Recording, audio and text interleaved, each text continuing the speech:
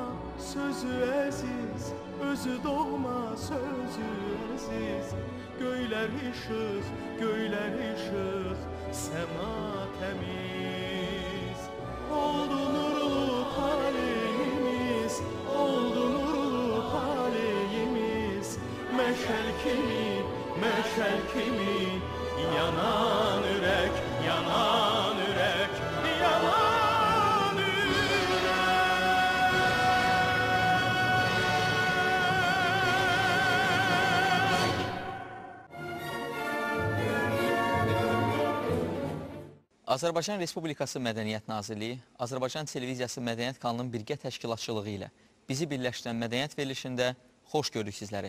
Bugünkü mövzumuz Heydər Əliyev və Azərbaycan mədəniyyətinə əsr olunub. Ulu Öndər hər zaman deyərdi ki, xalq bir çox xüsusiyyətləri ilə tanınır, sayılır və dünya xalqları içərisində fərqlənir. Bu xüsusiyyətlərdən ən yüksəyi, ən böyüyü mədəniyyətdir. Məhz bugünkü mövzumuz da bizim Heydər Əliyevin Azərbaycan mədəniyyətinə göstərdiyi diqqət və qayğıdan gedəcək. Mən istərdim ilk olaraq sizə qonaqlarımızı təqdim edək. Bəstəkarlar İttifaqının sədri, xalq artisti professor Firəngiz xanım Əlizadə. Firəngiz xanım, xoş gəlmisiniz verilişimizə. Xalq artisti professor Xuraman xanım Qasımova, rejissor Azərpaşa Nemətov, xalq artisti professor Azər Zeynalov. Xoş gəlmisiniz verilişimizə, salamlayıram sizi. Bildiyiniz kimi bu günləri ümumili lider Heydər Əliyevin anım günüdür və Heydər Əliyevin istər Azərbaycana 1969-cu ildə birinci hakimiyyəti devrində, istər ikinci hakimiyyəti devrində mədəniyyətə məxsusi diqqət və qayğı ilə yanaşırdı. Mən istərdim ki, Ulu Öndərlə bağlı hər biriniz xatirələrinizi bölüşəsiniz. Ulu öndərimizlə bağlı əlbəttə ki, Fidan xanımın və mənim e, təəssüratlarımız çoxdur. Çünki ümumiyyətlə e, bizim elə ilk addımlarımız e, yaradıcılıqda onun respublikaya rəhbərlik e, devrindən demək olar ki, başlayır. Odur ki, e, 25 il ərzində e, biz onun gözü önündə böyümüş bir e, sənətçilərik və bununla da e, fəxr eləmək olar. Biz fəxr edirik. Heydər Əliyev əlbəttə ki, çox nəhəq bir siyasətçidir. Bunu heç kəs e, şübhə altına ala bilməz e, və dahi bir insan idi. E, özü mədəniyyəti çox sevirdi və siz indi verilişi bax belə bir gözəl onun sözləri ilə başladınız. Doğrudan da mədəniyyət ölkə siyasətinin bir budağı sayılır və bu nöqteyi nəzərdən də e, Heydər Əliyev bu sahəyə çox e, diqqət nəzər verərdi. Çünki e, hər ölkəni onun mədəniyyəti e, bir güzgü kimi, bir təqdimat kartı kimi göstərir. Ona görə e, biz xoşbaxt bir sənətçilərik ki, məhz o devirdə biz e, çox uğurlar qazana bildik. E, birincisi, e, əl əlbəttə, ulu öndərimiz bu sahəyə diqqəti, nəzəri o qədər yüksək idi ki və zamanında o hər bir sənətçiyə elə yanaşırdı ki, e, sən məsuliyyəti hiss edirdin. Ölkə başçısının yəni nə dərəcədə mədəniyyəti özü sevdiyini və dərk etdiyini, hər bir e, mədəniyyətin hər sahəsini, istər rəssamlıq olsun, istər e, kino sahəsi olsun, teatr sahəsi olsun, musiqi sahəsi, e, bəstəkarlıq sahəsi və s. Yəni e, sevirdi bu insan. E, ona görə də bax onun diqqəti, nəzəri, e, nəzakəti, e, sevgisi bu insanlara çox böyük idi. Təşəkkür edirəm sizə Xuraman xanım. Böyük və tarixi xatirələriniz var bu barədə danışacaqsınız və Firəngiz xanım, mən istərdim sizinlə. Bilirsiniz, bu ə, sevincli günlərdə, qələbəmiz günündə biz hamımız Heydər Əliyevə bir daha öz minnətdarlığımızı hiss edirik. Çox belə doğrudan da mənalı bir həyat yaşayıb və biz görürük ki, bizim sevimli prezidentimiz, baş komandanımız kimi oğul yetişdirib Azərbaycan üçün bu çox böyük xoşbaxtlıqdır. Və mən bizim qələbəmizi ə, mən belə sayıram və görürəm ki, bütün xalqımız mənimlə razıdır ki, bizim prezidentimiz, bizim xalqımız, bizim şanlı əskərlərimiz çox böyük bir qələbə əldə etdilər və bu günləri mən deyərdim ki, tariximizin ən gözəl, ən sevincli illəridir, günləridir. Biz Bəstəkarlar İttifaqı olaraq bizim başçımız, bizim sədrimiz Qara Qarayev, biz həmişə hiss edirdik ki, Heydər Əliyev bizim ə, fəaliyyətimizi izləyir. Çox gözəl bilir və ona lazımı qiyməti verir. Və Heydər Əliyev çox sevirdi bu insanlarla ünsiyyətdə olmaq. Mən hətta deyə bilərəm ki, onun şəxsi e, belə dostluğu var idi. Qara Qarayevlə, Fikrət Əmirovla, Niyazi ilə, Arif Məlikovla çox gözəl bilirsiniz ki, bəzi hətta e, musiqi əsərlərinin o təşəbbüskarı olub, bu ideyaları e, irəli sürüb. Bu da çox maraqlıdır. və bəstəkarlar doğrudan da bu ideyalardan bəhrələniblər və gözəl əsərlər yaradıblar. Və Heydər Əliyev 5-ci qurultayımızda filarmoniyada heç vaxt biz hələ çox gənc idi və ə, bizə belə prezident özü çıxıb kürsüyə bizim qurultayımızda çıxış edir. Bu çox böyük şərəf idi və onun gözəl çıxışını biz heç vaxt unutmarıq. Orada ə, qaldırdığı məsələlər bu gün də çox aktualdır. Demək olar ki, onun məruzəsi sonra nəşr olundu və bizim masa üstü kitabımızdır. Həmişə ona müraciət edirik. Nə üçün? Ona görə ki, o mədəniyyətə və o cümlədən musiqiyə çox belə geniş baxırdı maştablı baxırdı. Dünya ə, deməli ə, baxımından biz, bizim musiqimiz nədir? Bu gün hansı mənas daşıyır? Və o çox gözəl sözlər dedi. Mahnı yazılmaq çox gözəldir, populyar olursunuz, amma mən Azərbaycan bəstəkarlarını iri həcmli əsərlər yazmağa çağırıram. Belə bizim musiqimiz dünya arenasına çıxa bilər. Və biz görürük ki, bu gün də bu sözlər, yəni qızıl hərflərlə ə, hər bəstəkarın, hər, hər musiqi şünasın ağlında olmalıdır. Ə, bilirsiniz, təəssüratlar çoxdur. Siz çox gözəl bilirsiniz, filarmoniyada nə gözəl konsertlər onun təşəbbüsü ilə keçirilirdi və ə, daha da maraqlısı odur ki, o konsertə qulaq asırdı və o pauzada hamımızı, deyirəm də biz gənc idi, arxada kresloların arxasında dənirdi, amma bizə çox maraqlı idi. Bu söhbətlər necə gedəcək? Bizim musiqişunar Elmira Abbasova çox ona hörməti var idi Heydər əmi. Həmişə Elmira xanım nə deyərsiniz? Və əsərlər haqqında çox belə maraqlı söhbətlər gedirdi. Və biz heyran olurduq Heydər Əliyev nə qədər ə, informasiyalı, yəni nə qədər bilikli insandır. Konsertə gələndə o artıq bilirdi hansı əsərlər ifa olunacaq və onların tarixçəsini. Təbii ki, bu ümummilli lider Heydər Əliyevin mədəniyyətə böyük bir sevgisindən irəli gəlirdi.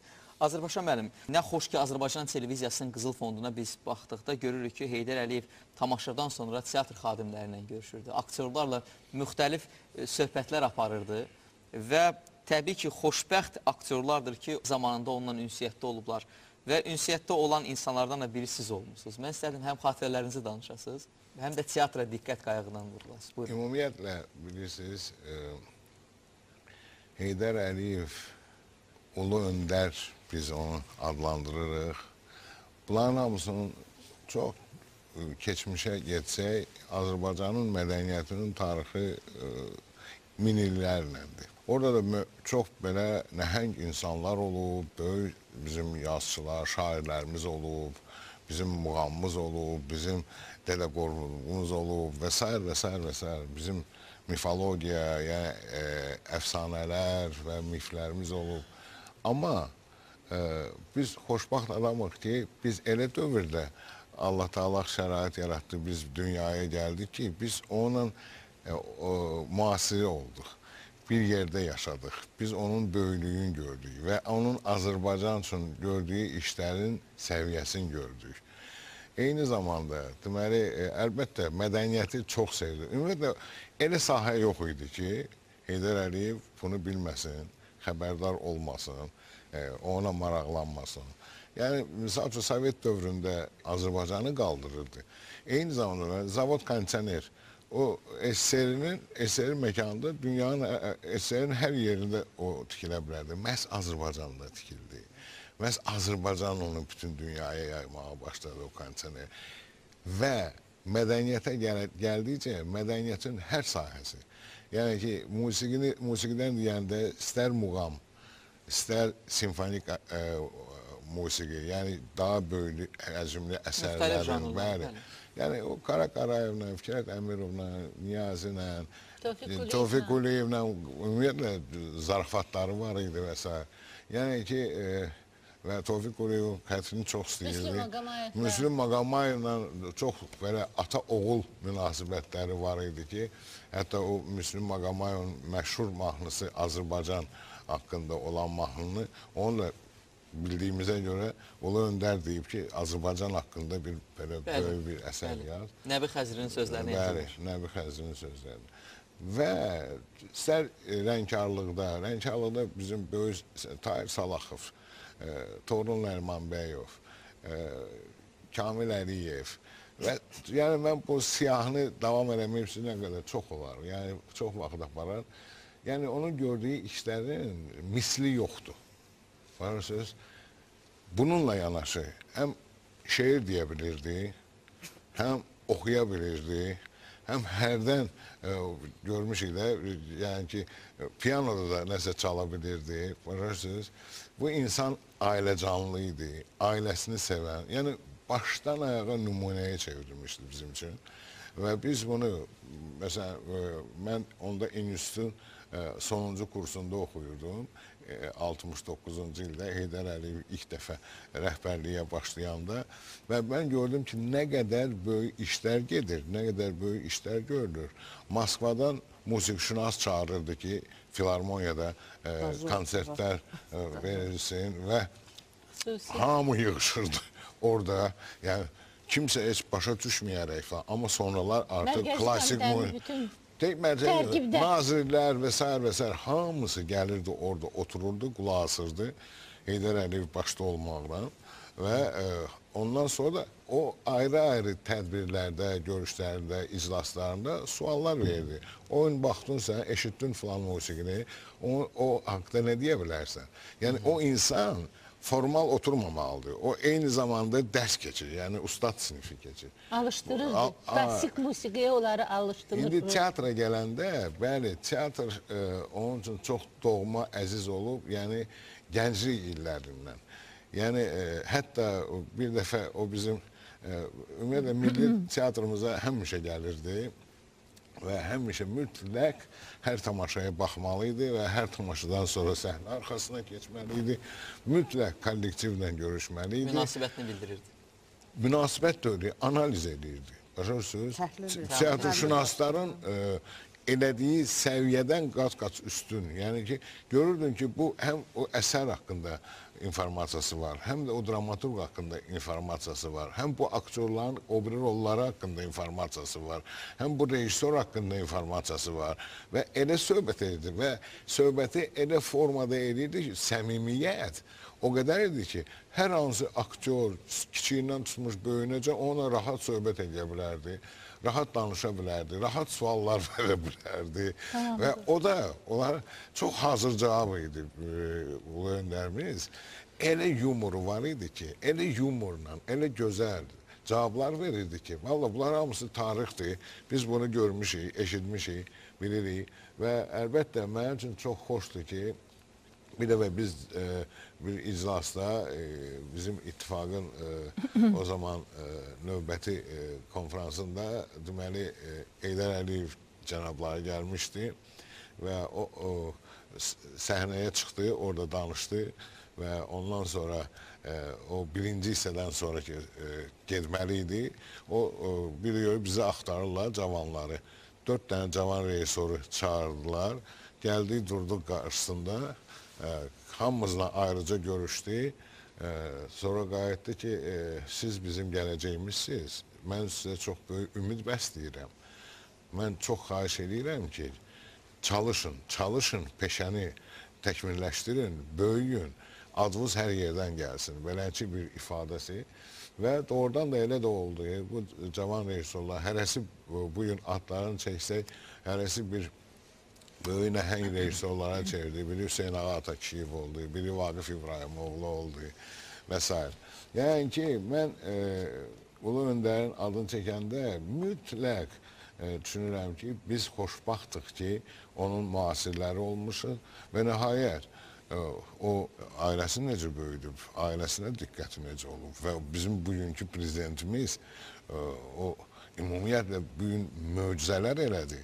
Dünyada Azərbaycan adlı ölkənin Azərbaycan Respublikasının bütün dünya bu saatda e, Bəli. daha birdən belə böyük bir sıçrayışla Azərbaycan haqqında və bunlar hamısı bağlıdır, yenə də qayıdırıq Ulu Öndərimizə. Çünki Ulu Öndər bu təməli qoyub. Ulu Öndər bunu böyüdüb, bəcərib, yetişdirib və bu gün Azərbaycan e, bütün mədəniyyət sahəsində mən hesab edirəm ki, böyük inkişaf. Təşəkkür edirəm sizə Azərpaşa müəllim. Azra müəllim, 20-ci yüzilliyin 90-cı illərinə biz nəzər yetirsək, musiqi həyatına baxsaq, bu mənim bir musiqiçi kimi şəxsi öz fikrimdir. Sizin ifaçılığınıza başladığı müddət ərzindən tenor səsləri üçün yeni bir səhifə açıldı. Və siz öz ifa tərzinizlə milyonlarla tamaşaçı sizi sevməyə başladı. Və təbii ki, Heydər Əliyevin ikinci hakimiyyəti devrində də sizə dövlətimiz tərəfindən xüsusi diqqət və qayğı göstərildi. Mənim yadımdadır, mən uşaq idim. E, 96-cı ildir səhv etmirəmsə, dahi Üzeyir bəyin Arşın Malan operettasını nümayiş etdirilirdi opera teatrında. Mən də adi tamaşaçı kimi e, orada iştirak edirdim və Ulu Öndər o tamaşada iştirak edirdi. Daha sonra sizin Sevil operanız oldu və Sevil Mən operanızda... Bir dənə rəsm gətirmişəm. İndi Azər müəllim demişdi. Hə, gəlin e, yəni bu, ta bu tamaşaçılara baxın, göstərək. e, Ki necə ulu öndərimiz bizim e, tamaşalardan sonra həm hər zaman e, səhnə arxasına gələrdi və bütün e, deməli tamaşa heyəti ilə e, bir-bir bir-bir onları tərif eləyərək gözəl sözlər sö- Azər də burada var. O, o ikinci bu Sevil tamaşasından sonradır rəsm E, və gələrdi tamaşaya qiymət verərdi. Hər bir tamaşa hər bir iştirakçı barəsində öz sözünü deyərdi. Yəni ulu öndərimizin o konsertdə və yaxud həmin tamaşalarda özünün iştirakı olması bu bizim üçün Ruh böyük bir yüksəkliyi verirdi, bəli. yüksək- Böyük böyük bir stimuldu, şərəf idi. Sən də gənc idin o vaxtlar Azər. Orada- Yaratmağa daha da böyük stimul Balaş verirdi. rolunu ifa edirsən, mən Sevgili rolunu o ifa edirəm. Bu 98-ci ildir və Fərhad bəyli ə, Fərhad Bədəlbəyli orada deməli musiqi tamaşanın bədii rəhbəridir. Azər müəllim, elə istərdim e, bu barədə xatirələrinizi bölüşəsiniz. Buyurun. E, Bir az e, öncədən mən başlamaq istəyirəm. Deməli, e, xatirimdədir e, 94-cü ildə neft müqaviləsi ba ba bağlananda Bəli, bəli.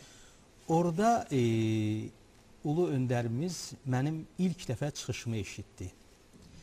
E, deməli Gülüstan sarayında keçirilirdi və e, çıxış mənim çıxışım ulu öndərimizin yəqin ki e, diqqətindən yayınmadı və e, o buna öz münasibətini də bir neçə kəlmə ilə bildirdi hətta həmin görüşdə. E, sonra elə oldu ki, mən 94-cü ildə e, xaricə e, getdim. 2 il Azərbaycanda olmadım. E, təhsil dövrü oldu məndə. Qayıdandan sonra bayaq e, qeyd etdiyiniz o məsələni teatrı deyirəm, Arşın Mallanı. Biz teatrı, e, tamaşanı e, səhnələşdirməyə başladıq. Bu olmuşdu 96-cı ildə. Və 97-də e, biz bu tamaşanı təhvil verdik və ulu öndərimiz gəldi tamaşaya. Yadımdadır, e, yanında qonağı da vardı, İhsan Doğramacı. Birlikdə gəldilər və e, çox belə e, ləzzət eləmişdi onlara bu tamaşa. Xoşlarına gəlmişdi və ulu öndərimiz öz fikirlərini dedi. Bayaq dediyiniz kimi bir e, analitik kimi bir etdi, teatrşünas kimi, bəli. bəli, çox e, belə lazımi fikirlərini söylədi. E, ondan bir qədər sonra, e, təxminən bir il sonra Sevil operasını biz Xuraman 98-də. 98-də bəli hazırladıq və 98-ci ildə Ulu Öndərimiz yenidən opera teatrına gəldi və bizim bu tamaşanı izlədi. E, səhnə arxasına gəldi, öz ürək sözlərini dedi, öz lazımi fikirlərini dedi. Biz hər zaman onun səhnəyə e, səhnə arxasına gəlişini gizlətmirəm, gözləyirdik. Çünki bu bizə elə bir ruh verirdi ki, Doğrudur. e, onun səhnə arxasına gəlməsi bu bizim üçün e, necə deyim axı hər şeydən dəyərli idi. Hər şeydən qiymətli idi. Yəni e, Heydər Əliyevin bizim işimizə qiymət verməsi bu böyük bir dəyər idi bizim üçün. Ona görə də və hardasa biz tamaşanın məşqində də e, Xurama xanım e, məşqlər zamanı da biz düşünürdük ki, yəqin ki Heydər Əliyev gələcək. Və son məşqlər zamanında biz artıq general e, məşqlərdə biz eşitdik ki, e, O baxmaq istəyir. Fikrət Əmir musiqisini sevirdi. bəli, çox sevirdi. E, Sevil tamaşasını da xüsusən operasını xüsusən sevərdi. Xüsusən sevirdi, bəli, tə, e, təbii. Və e, biz eşidəndə ki, Heydər Əliyev gələcək, daha da həm həyəcan başladı bizdə, həm də e, sevinç başladı. Və e, nə xoş ki, Heydər Əliyev gəldi, yenə də səhnə arxasına keçdi və öz fikirlərini, öz e, dəyərli sözlərini bizə dedi. Biz də bundan böyük ruh aldıq və gələcək işlərimiz üçün bu bizə böyük bir stimul oldu. Təbii, e, Firəngiz xanım, Heydər Əliyevin Azərbaycan bəstəkarlarına məhəbbəti, bayaqları Xurama xanım qeyd edir ki, Fikrət Əmirovun istər min bir gecə baletinə onun məhəbbəti, bu barədə də o dəfələrlə qeyd edib. Amma zənnimcə burada həm də mədəniyyət xadimlərinə bir qayğı idi. Çünki o tamaşada bilirdi ki, onun iştirak etməsi eyni zamanda e, mədəniyyət e, xadimlərinə böyük ruh yüksəkliyi verəcək. Azərbaycan gələcək bəstəkarlarına, müasirlərə böyük bir ruh yüksəkliyi verəcək. E, Və düşünürəm ki, hətta biz o kadrlara, xronik kadrlara seyr edikdə görürük ki, Üzeyir bəy haqqında çox gözəl fikirləri, eyni zamanda Qara Qarayev haqqında gözəl fikirləri, Qara Qarayevin dəfni zamanı onun iştirak etməsi təbii ki, e, gələcək bəstəkarlarda da, musiqiçilərdə də, mədəniyyət xadimlərində də e, dövlətin bu kimi diqqəti, qayğısı onlara yaşamağa, yaratmağa daha da ruh yüksəkliyi verir. Çox sevindirici bir haldır ki, bu siyasət bu gün də uğurla davam etdirilir və bu missiyanı bu günləri Heydər Əliyev Fondu Azərbaycan mədəniyyətinin Azərbaycanımızın hüdudlarından kənarda təbliği istiqamətində çox böyük addımlar. Davam yəni məhz Ulu Öndərin adını daşıyan fond istər bizim Azərbaycan televiziyasında yayımlanan Muğam tele müsabiqəsi, istər müxtəlif Qəbələ musiqi festivalının keçirilməsi də məhz Heydər Əliyev Fondunun dəstəyi nəticəsində reallaşır və dünyanın bir çox ölkələrindən Azərbaycanımıza təşrif buyuran musiqiçilər artıq Azərbaycan Orkestrlər. orkestrlar bəli və incəsənət xadimləri ilə təmasda olurlar. E, təbii ki, xatirələriniz böyükdür. E. Bəli, yəni həm Heydər Əliyevin musiqiyə ə, münasibəti çox ə, belə təsir edici idi. Ona görə ki, ə, Heydər Əliyev bu əsərləri çox gözəl ə, təhlil edirdi, dərk edirdi və onların dəyərini insanlara çatdırırdı. Yəni o seyirciyə kim baxırdı televiziya kanallarına ya da ki elə o teatrda olurdu, onlara da çox da təsir edirdi bu. Bu da bir e, belə deyərdi master class kimi bir şeydi. Yəni o dərs, açıq dərs idi sadəcə. Başqa tərəfdən siz bilirsiniz o vaxtlar Sovet vaxtında heç bir respublikada bu qədər fəxri adlar yox idi. Hətta bir dəfə Heydər Əliyevə də necə oldu ki, o boyda Ukraynada e, Giroy Sosialistik Truda 4 nəfərdir, sizdə e, Azərbaycanda 7 nəfər Giroy. O da dedi "S- Sizdə də olsun, siz də yetişdirin belə insanları, onlar da olsun. Yəni doğrudan da çox hazır cavab idi və həmişə Azərbaycanın ə, deməli necə deyirlər, ə, onun Mövqeyini. ə, mövqeyini Təsvirini həmişə ə, çox belə diqqətlə müdafiə edirdi. Bundan başqa Heydər Əliyev təbii ki, yəni dahi siyasətçi olmaqla birlikdə çox romantik bir insan idi. Onun şəxsiyyətində sanki iki belə ə, fərqli bir şəxsiyyət vardı. Bir tərəfdən çox qətiyyətli, çox müdrik siyasətçi, başqa tərəfdən çox ə, belə romantik, ə, çox belə ə, incəsənətə, musiqiyə ə, deməli meyli olan bir insan. Və biz görürdük ki, yəni gənclər olaraq biz görürdük ki, o Qara Qarayevdən söhbət eləyəndə, ya Fikrət Əmirovla ə, söhbət çox səmimidir. Yəni həzz alır bundan. Onun çox belə bu ünsiyyət ona bir gözəl bir hisslər bağışlayır və bu səmimiyyət insana çox belə təəccüblü gəlirdi ki, bu siyasətçi Qara Qarayevlə necə belə səmimi söhbət apara bilər. Və ə, Heydər Əliyev ə, bir tərəfdən dost, dost idi, bir tərəfdən həmişə sanki yeni ideyalar gətirirdi. Və biz bilirik, misal üçün, yəni bir sıra bizim bəstəkarlarımız onun ideyalardan çox bəhrələnib və ə, yeni əsərlər yaradılıb. Ə, misal üçün, ə, Akşin Əlizadənin Babək baleti bilirsiniz, onun ideyası idi. Ya da ki, Arif Məlikovun ə, bilirsiniz, ədə, əbədiyyət simfoniyası. Ə, ə, bu əsərlər bilirsiniz, ya da ki, Nəsimi filmi.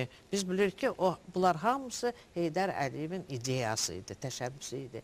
Və bunlar həmişə yenilik gətirirdi bizim musiqiyə. Və heç vaxt mən unutmaram Krimlovski şey sarayında e, bir baleti tamaşası göstərilmədi və e, artistlər deməli e, e, pərdə arxasında biz Fikrət Əmirovla orada e, söhbət edirdi. E, o qrup var idi. E, bu m, tamaşanı e, deməli lentə alan və onlar e, söhbət və birdən pərdə arxasında belə bir e, söhbət oldu ki, Heydər Əliyev gələcək Moskvada. Yəni min bir e, gecə baletinə baxmağa. Siz təsəvvür edə bilməzsiniz, orada belə bir çaxnaşma var idi. Belə, aa, belə insanlar sanki belə bir ruh tapdı və e, Heydər Əliyev və Zərifə xanım gəldilər, təşrif buyurdular. Çox gözəl belə bir heyətlə və onlar bu baletə tamaşa etdilər və axırda onlar ayaq üstə bu baleti alqışlayanda, sonra onlardan sonra bütün zal ayaq üstə duranda siz təsəvvür edə bilməzsiniz. Bu artistlər heç olmasa o səhnədə uçurdular. Onlar yəni bilirsiniz bu doğrudan da Azərbaycan musiqisinin çox böyük təntənəsi idi. Və Heydər Əliyev bunun çox ağıllı və və hətta deyərdim gözü görünməz bir rejissoru idi. Sanki o hər şeyi planlaşdırmışdı. Heç kim bilmədən birdən bu xəbər gəldi və daha da coşqulu oldu. Çox ağıllı. Yəni doğrudan da bu hansı yəni mədəniyyət olsun, siyasət hansı sahəni seçsəydi Heydər Əliyev çox böyük nailiyyətlər əldə edə bilərdi. Amma Azərbaycanın vaxtı gətirib ki, o siyasəti, bəli, ki o siyasəti seçdi. Və mən Binazir Pxutonu çox sevirdim. Mən bir neçə dəfə e, onun leksiyalarında olmuşam və o bir söz işlətdi Londonda. Mən onun e, danışında bilirsiniz də o Londonda oxuyub və Bəli, bəli. e, Speech Club deməli onun sədri olub. Sədri olub. Yəni, o qədər yüksək səviyyəli həm siyasətçi, həm deməli danışıq onun məharəti var idi və o nə dedi o şeydə London göbəyində o insanlara dedi ki, bütün şərq ölkələrində biz Heydər Əliyevin lent yazılarını izləyirik və öyrənirik. Hi- Siyasətçi özünü necə aparmalıdır, necə danışmalıdır, onun necə e, e, belə görünüşü necə olmalıdır. Biz onu e, e, Heydər Əliyevdən öyrənirik. Örnək Hətta götürürük. insanlar belə e, təəccübləndi ki, yəni bu necə örnəkdir? Çox belə gözlənilməz. O, o qadın e, belə doğrudan da bir sir açdı orada. O sirri heç kim bilmir. Biz deyir onun let və doğrudan da Heydər Əliyev normal geyinirdi. Heç nə belə deyək ki, özünü belə o girəndə hamı ayaq üstə dururdu. Yəni belə bir onda bir zəhm var idi. Zəhm var idi. Nəsə o belə e, dilləri maqnetizm, nəsə onda bir belə e, e, hökm var idi. Özdə daxilində. Bəli. Daxil. Doğrudur. Təşəkkür edirəm Səfir Rami Əngiz xanım. Rami siz- mən elə mən indi e, siz e, danışdıqca Fəngiz xanım çox yaxşı şeylər yadına saldı və e, əlbəttə ki, Heydər Əliyevlə çoxlu biz e, e, nümayəndə heyəti içərisində e, səfərlərdə olmuşuq. E, çox ölkələrdə, daha doğrusu, xüsusən Fidan xanımı məni özü ilə tez-tez aparardı. Almaniyada, İngiltərədə, Fransiyada, Səudi Arabs- Ərəbistanında var unudulmaz və Fransada e, e, bəlkə də biz heç e, çıxışlar eləməzdik məsələn. E, sadəcə göstərirdi ki, bizim necə e, mədəniyyət xadimlərimiz var, necə danışırlar xarici dilində, ümumiyyətlə necə özlərini aparırdılar.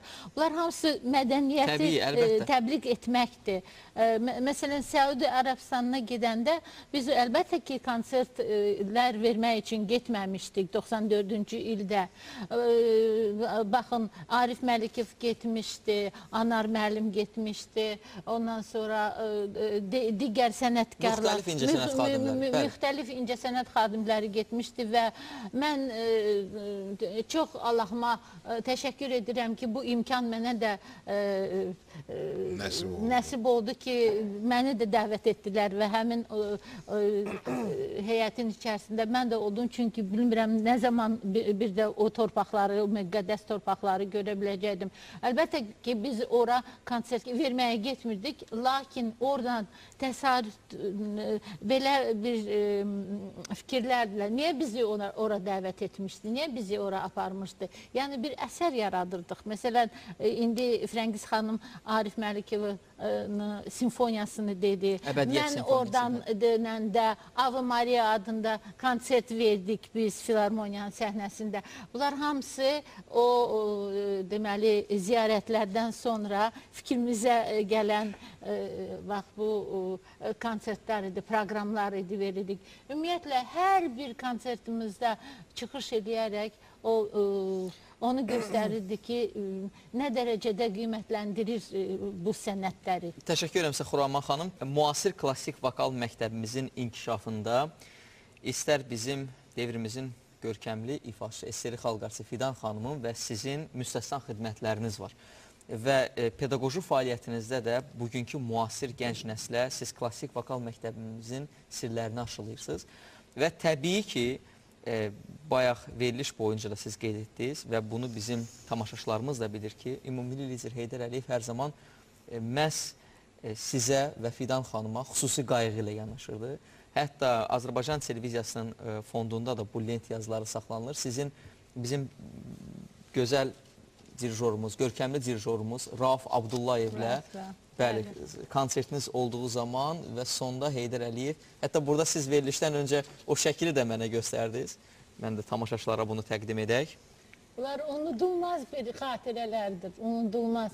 Və orada onun çıxışı artıq proqram bir çıxışdır. Və mən nəyə gətirmək istəyirəm Azər müəllim? Yəni Xuraman xanımın, Fidan xanımın timsalında Heydər Əliyevin bu konsertdə iştirak etməsi və sonda Fidan xanıma, haqqında. bəli, mədəniyyət e, Fidan xanıma və sizin haqqınızda o xüsusi diqqətlə o sözləri deməsi bu elə klassik vokal sənətinə olan diqqətdir. Yox, Azərbaycan müəllim. Tamamilə doğrudur. Hə, Elə bu klassik musiqimizə olan bir qayğının təzahürüdür. Bilirsiniz, e, bir var ki, Eydər Əliyev səhnə arxasına gəlirdi, kollektivlə görüşürdü, yəni ifaçılarla.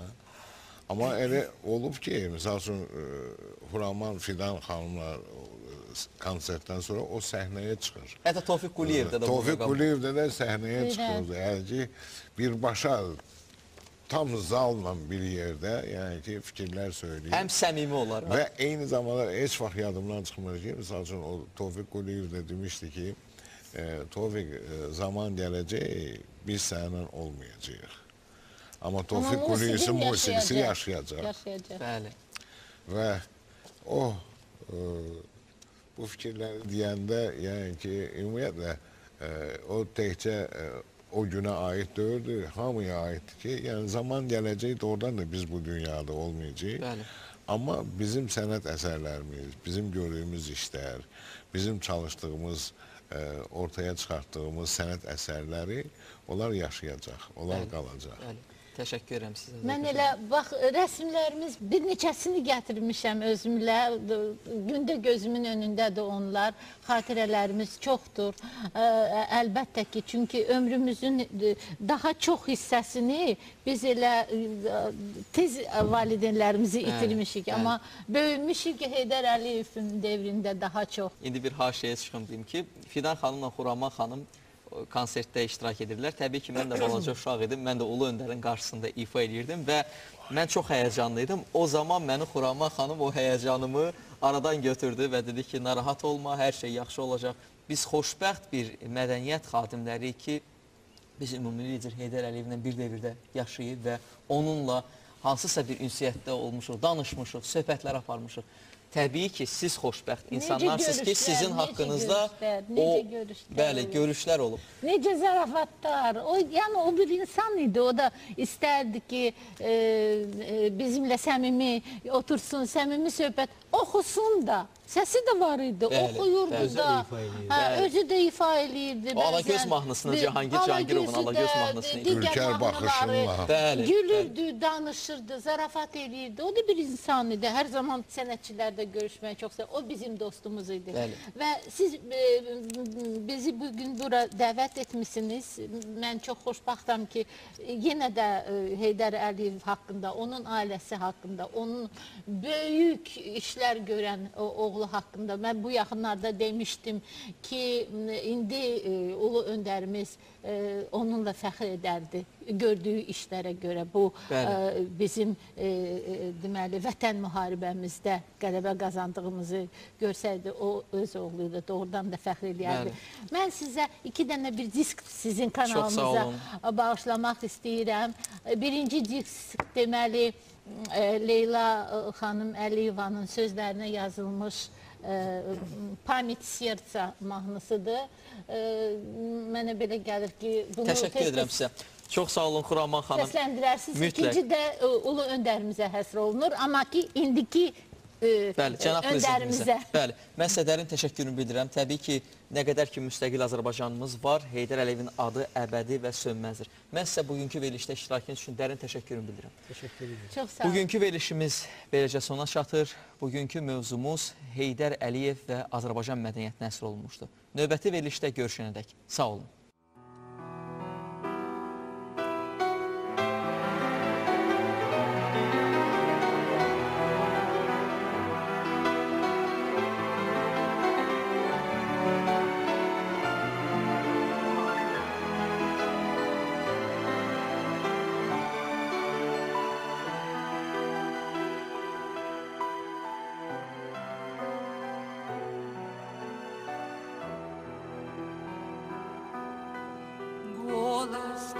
В сердце звучит,